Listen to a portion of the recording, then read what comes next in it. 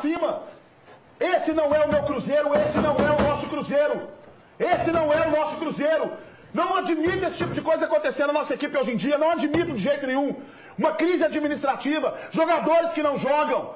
O Rogério Ceni pode ter escalado ontem mal e pode ter inventado, mas ele é o menos culpado disso tudo que anda acontecendo. E agora, amigo, é brigar para não cair mesmo, é comemorar empate fora de casa, é comemorar empate sim, cada pontinho conquistado. Não é vergonha fazer isso não, porque o momento é crítico, o momento é crítico. Eram todos juntos, minhas, minha família, meus primos, a gente sempre frequentou muito, hoje ainda, quando eu posso, eu estou sempre na arquibancada. E quando a gente vê o nosso clube passando por um momento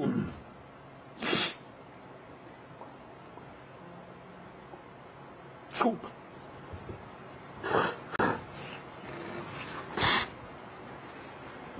Obrigado, Mineirão, por tudo.